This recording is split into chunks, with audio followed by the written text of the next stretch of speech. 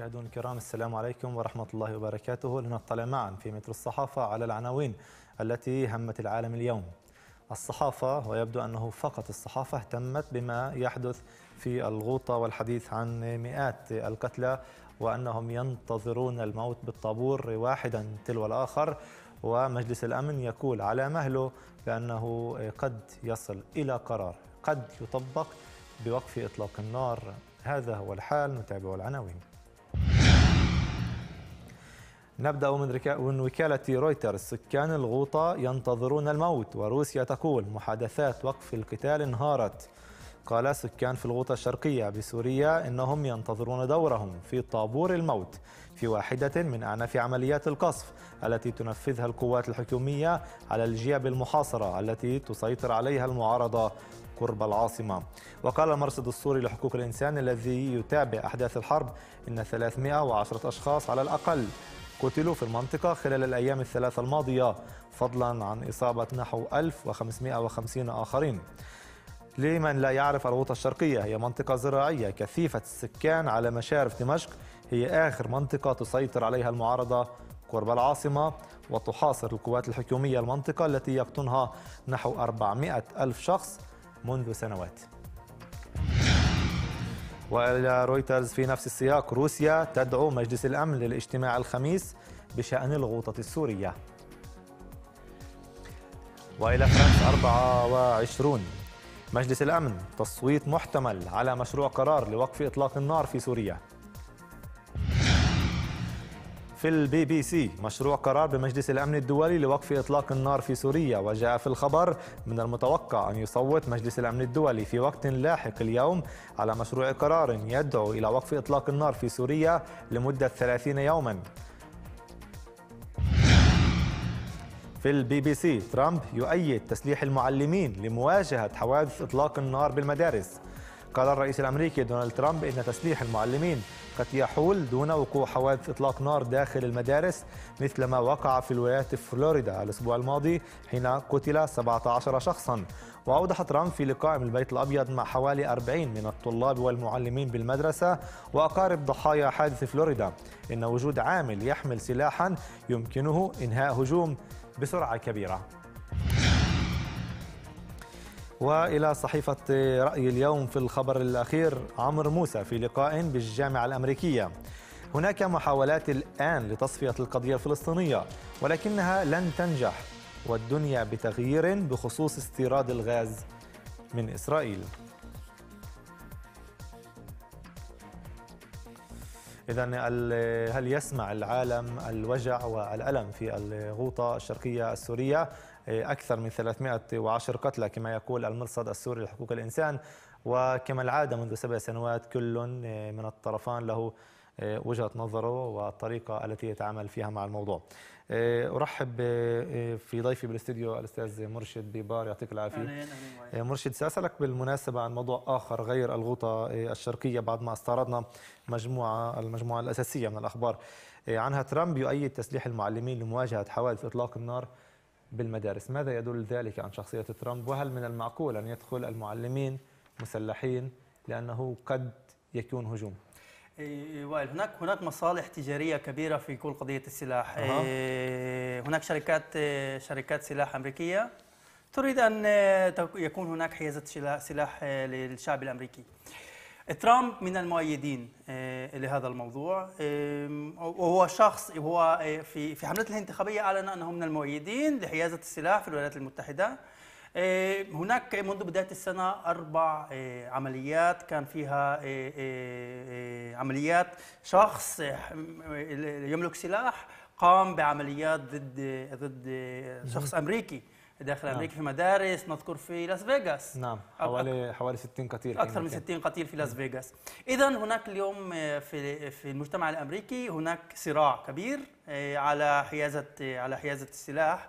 الشيء المهم ترامب في زيارته للطلاب بالمدرسة صوروه حامل حامل ورقة وكتب عليها الأشياء اللي لازم يتكلم عنها مع مع الطلاب. على إيش بدل هذا مرشد؟ شخصية ترامب شخصية ترامب شخصية معقدة. هو مش ممكن يشعر يشعر مع الشخص الآخر على ما يبدو لازم شيء مكتوب قدامه عشان يقدر يشعر مع الشخص الآخر أو أو يستوعب أو يذكروه انه أنا لازم أستوعب الألم تاع الشخص الآخر. ف ف بعرفش اذا في ال control بعطونا الورقة هاي مكتوب عليها شو بدكم شو الأمور اللي بدكم أنا أسمعها منكم. هاي الورقة. أو أو أنا اسمع I hear you أنا أسمعكم. يعني لازم حدا يذكره إنه لازم تسمع كل الوقت ترامب. أنت مش بس تحكي لازم تسمع كل الوقت. طبعا ومسك الورقة وخلى الصحافه تشوف ال تشوف ال الأشياء المكتوبه غاد على ما يبدو آه، هو بفكر ممكن إنه هذا الشيء إنه عادي. عادي إنه أنا رئيس أمريكا وعادي إنه أنا آه، مش بتذكر شو لازم أحكي مع طلاب اللي تعرضوا لحادثة مأساوية جدا بهذا الشكل. شوي عن الغوطة. فضل. الغوطة آه، روسيا تقرر مصير سوريا. وروسيا مصلحتها اليوم هو إنه نظام الأسد ينجى لذلك نحن نرى نرى كل هاي الأمور اللي موجودة بالغوطة. فإذا كان هناك وقف إطلاق نار أو إذا لم يكن هناك آه، إطلاق وقف نار الأمر يتعلق الأمر يتعلق بروسيا لأن الولايات المتحدة أخرجت يدها من كل ما يحصل في الشرق الأوسط. يعني موجع وكلما رأينا الصور وصرخات الناس لا نستطيع انسانيا إلا أن نتألم على الأقل ليعلمهم وبما يتعلق بالخبر الأول تعليقك لذيذ يبدو أن هنالك من بحاجة أن يذكر ترامب كما يقول مرشد بأن عليك أن تشعر مع الناس ومع الأطفال ومع طلاب المدرسة الذين هم أمامك. وهناك من كتب له يجب أن تسمعهم أو كلهم أريد أن أسمعكم لوحده لن يستطيع فعل ذلك. في قضايا نتنياهو الكثيرة التي أصبحت شائكة كل يوم تقريبا هنالك جديد وجديد وكل التجديدات هي تجديدات دراماتيكية.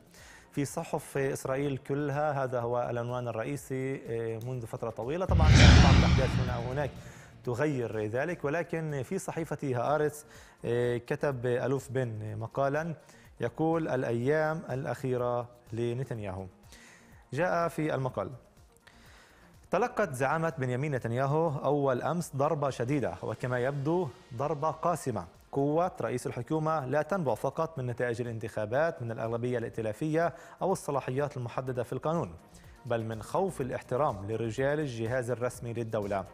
المساعدين المتحدثين المقربين في اللحظة التي يتم فيها اختراق هذه الدائرة فإن صلاحية الزعيم تضعف بل يبقى في مركز في مركزه لفترة إضافية إلى حين عزله عزله نهائيا.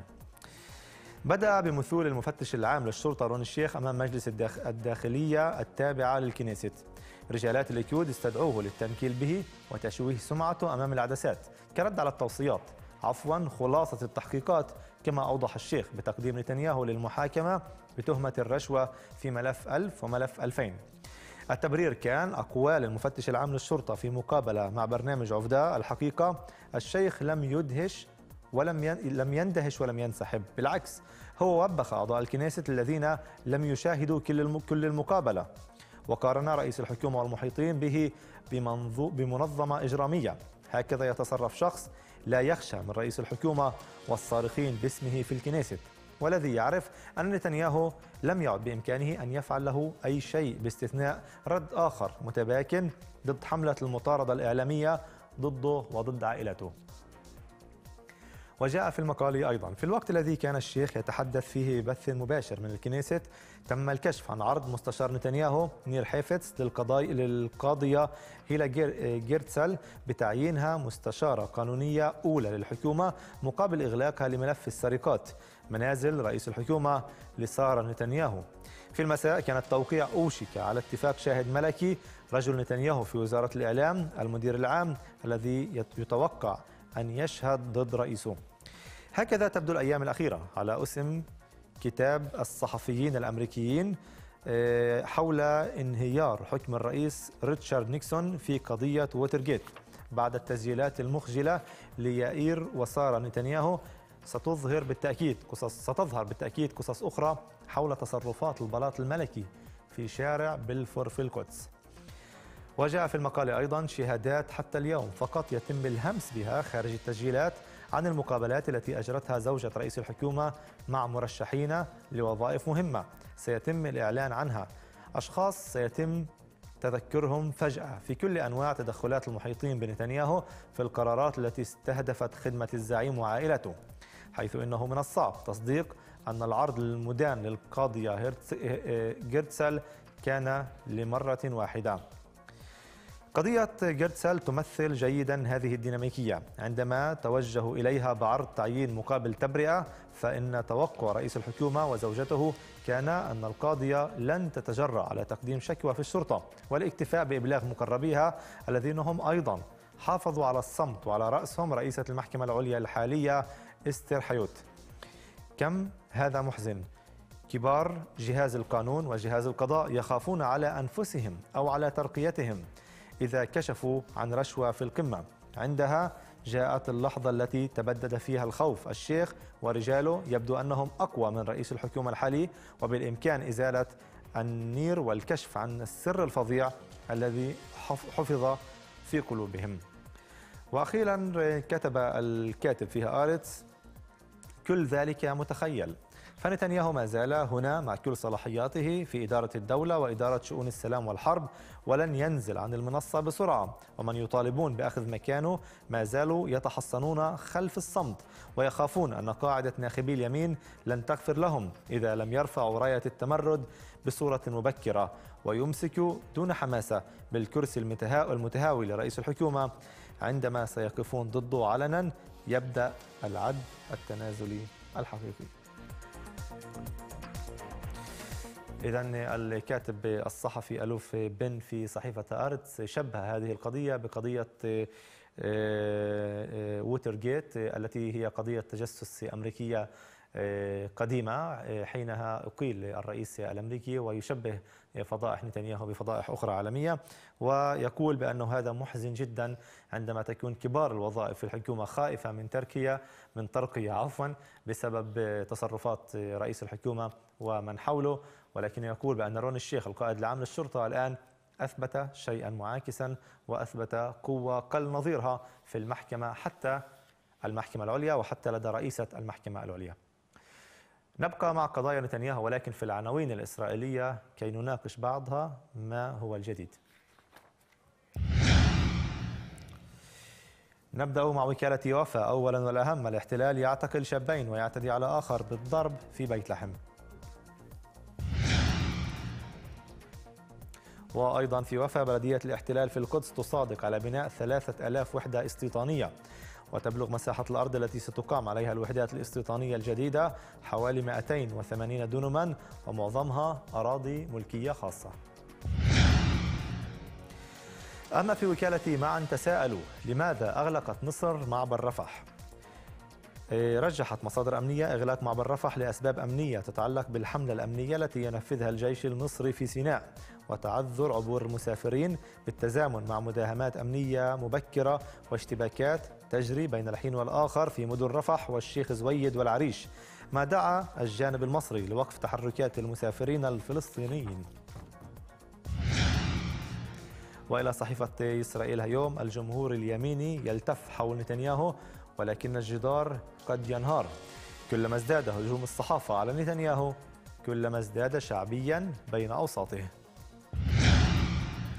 وفي نبقى في إسرائيل اليوم اليسار يفقد صبره. نفذ صبر نشطاء اليسار ليس هذا بمفاجئ فهدفهم تغيير السلطة دون انتخابات. كما تقول إسرائيل اليوم المعروف بأنها تميل كثيرا للشارع اليميني في إسرائيل. وإلى صحيفة يدعوت أحرونوت التسجيلات الذي أوقعت الشاهد الملك فيلبر مدير عام موقع والله سجل المكالمات بأن سجل المكالمات آه، وذلك بالحديث مع نتنياهو مما حوله لشاهد ملك. وفي دعوت مستمر بإدلاء شهادته تمديد اعتقال شاهد الملك ضد نتنياهو. وأخيرا فيها آرتس عن نفس القضية. بنت يدعو نتنياهو ويدعمه حتى تقديم توصيات المستشار القضائي للحكومة لا يوجد لدينا حيرة. سندعم نتنياهو حتى تقديم هذه التوصيات هذا ما قاله بنت وهنالك طبعا نقد كبير من المعارضة لأعضاء الائتلاف بأنه أصبحوا وكأنهم شركاء في الموافقة على فساد الدولة. وإذا هنالك دعم من قبل بنت وهنالك تطورات جديدة. وتبين بأن مدير موقع والله كان قد سجل المحادثات التي يقول فيها شاهد الملك آه، ادعموا نتنياهو وغطوه بصورة إيجابية مما أجبر شاهد الملك بأن يعني يتحدث عن صديقه وأمين الذي ائتمنوا على أسراره بنيامين نتنياهو. وهنالك أحداث دراماتيكية كما قلنا أمس والتطورات مرشد آه، في هذا الموضوع. ماذا هنالك من جديد وكيف يمكن النظر له؟ راح أبدأ بقصة تعرف قصة الكعكة؟ تفضل ميري رجب بالأمس باليمين آه، بدأوا يستهزئون بكل الموضوع أو يحاولون الاستهزاء وبذلك إنه يرسبون هناك هناك أفكار في في في في المجتمع أو في مصوتيهم ميري رجب بالأمس آه، طلعت منبر الكنيسة وحكت قصة الكاكي إنه في اليوم آه، طبعا باستهزاء قضية 7000 معلمة الروضة الخاصة بنتنياهو أعطته كعكة آه، زيادة عن أصحابه وبالتالي هناك تحقيقات هناك استهزاء كبير في كل مش هذا خطير يعني في دولة منظومتها هي منظومة ديمقراطية على الأقل في آليات اتخاذ القرارات وفي ضغط السلطات الأربعة الواحدة على الأخرى بأن تقف الكنيسة وأن يقف رئيس الحكومة ويسخر ويهاجم ومن حول رئيس الحكومة يهاجمون مؤسساتهم هم يعني يبدو أن هنالك فعلا اليمين ذهب لتنتحر الدولة ويبقى نتنياهو في منصبه. وأكبر دليل على ذلك هناك كل سنة ينشرون آه، آه، آه، كميه الرشاوي بكل دولة ساعدني مدادا كمية الرشاوي اللي بتكون بكل دولة أو أو كم الدولة هي صالحة.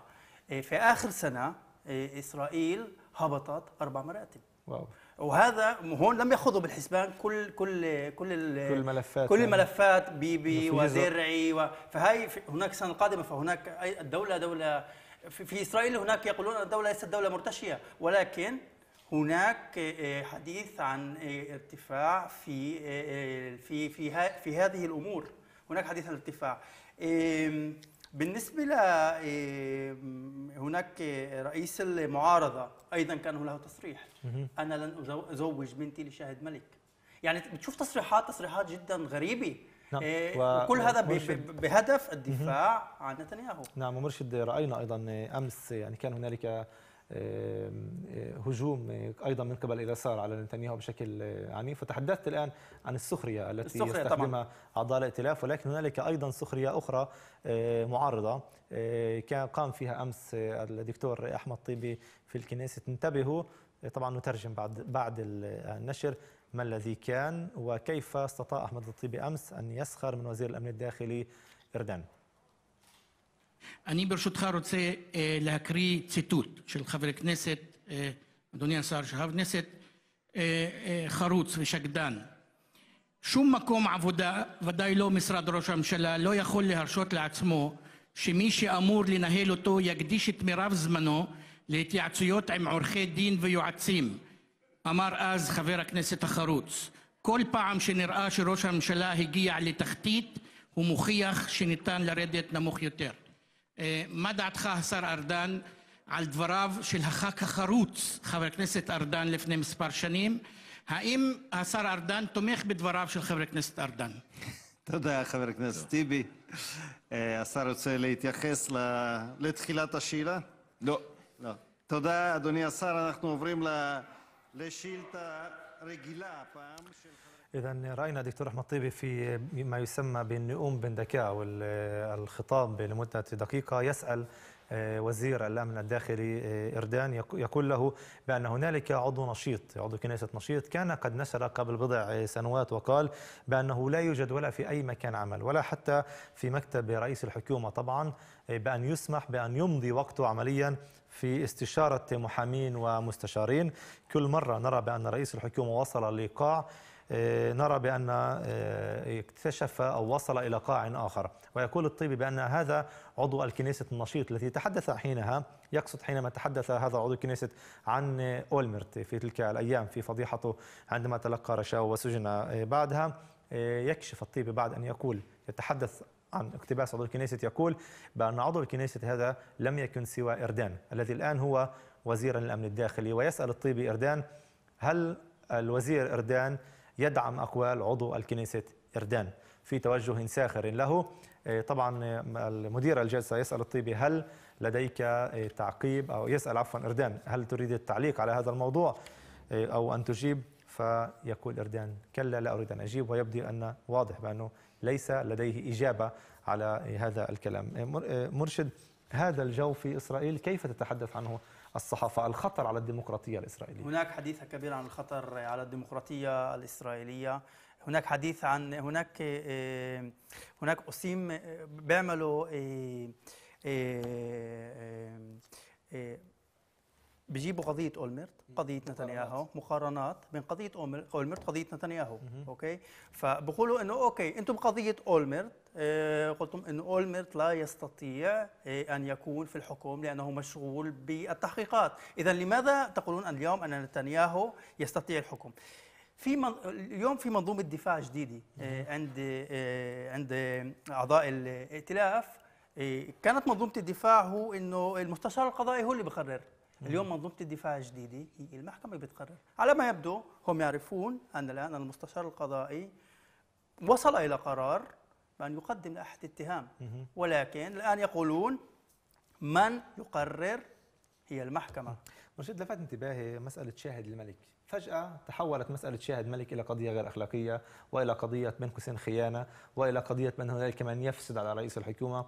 مسألة شاهد ملك هي يعني موضوع كل الوقت موجود وحتى في مسألة أولمرت شهادة ملك كانت عمين إحدى موظفاته كانت تسجله كل الوقت شاهد الملك محترم والأمور تمام إلا في هذه الحالة يعني كانت الأمور صعبة. ولكي نقول للمشاهدين ماذا يعني شاهد ملك لمن لا يعرف. شاهد ملك معناه بأن هنالك شخص هو جزء من القضية لأنه في الصحافة نحن نسمع كثيرا يقولون شاهد ملك شاهد ملك. هو جزء من القضية وهو إحدى أعضاء التركيبة التي قامت في جريمة أو في تجاوز معين للقانون ولكن لاحقا يقرر بأن آه، يتحدث عن كل شيء يفتح في كل شيء في كل المواضيع مقابل أن يحصل على بعض التسهيلات آه، في الحكم الذي آه، يعني قد أو الذي كان من المفروض أن يطوله إذا لم يتحول إلى شاهد ملك. هذا شاهد ملك هذه المرة كان صديق نتنياهو العزيز مرشد. وكل الأسرى لديه. فجأة تحول إلى شخص سيء وإلى شخص مشبوه وإلى شخص يريد أن أن يضر في الحكومة. حتى بعض الشتائم التي نالت ورأيت في الصحافة الإسرائيلية احضروا شتائم من ما يسمى العالم السفلي. كيف كانوا يشتمون شاهد الملك؟ آه، والآن يقارنون بين عالم سفلي آه، بين زعران عمليا بالصحافة الإسرائيلية وبين أعضاء من الليكود. هذا ما يسمى تدوير إعلام. آه، هم يصرحون أو يأخذون آه، الاعلام إلى المناطق المريحة لهم. هم يريدون أن يتكلم الاعلام ليس بقضايا نتنياهو نعم. إنما شاهد ملك وهل شاهد ملك هو شيء جيد أخلاقي. أو غير أخلاقي؟ فبالتالي الصحافة تنشغل بهذه الأمور وتنسى قضية نتنياهو كليا. وهذا ما يسمى تدوير الاعلام بينت. بينت آه، لا يريد آه، هو هناك لمن لا يدري بنت آه، ونتنياهو علاقات آه، علاقة ليست متوترة عامة. ولكن بنت يهمه المصوتين من اليمين. وإذا أسقط الحكومة بنت أسقط الحكومة فمصوتي اليمين لن يسامحوه. على هذا وبالتالي سنرى النتائج في الانتخابات القريبة. لذلك بنت رغم آه، رغم كل الفضائح الموجودة الآن على نتنياهو لا يزال يدعم آه، نتنياهو. العزيز الصحفي مرشد بيبار شكرا جزيلا لك على هذه الإضافات وكل يوم وكل ساعة هنالك إضافات جديدة لقضية نتنياهو. ولكن نقول الخبر المركزي الاحتلال يعتقل شابين ويعتدي على آخر بالضرب في بيت لحم. أما فيما يتعلق في قضايا نتنياهو واضح بأن الدولة الآن في حرب على ديمقراطيتها. وهنالك من يضع في مكيالين إسرائيل وديمقراطية إسرائيل أم نتنياهو. هذا هو الحال وهذا ما تقول الصحافة الإسرائيلية والنزاع القائم هناك. إلى هنا نراكم على خير والسلام عليكم.